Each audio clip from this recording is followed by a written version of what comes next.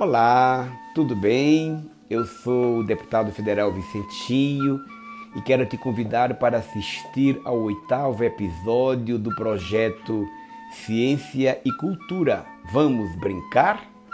Você de qualquer lugar deste país pode participar. Neste episódio serão apresentados diálogos a respeito de mudanças climáticas.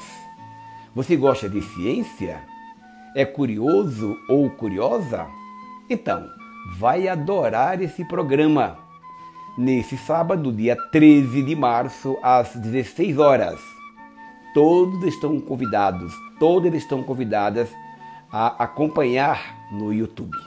Mais uma iniciativa do programa WASH.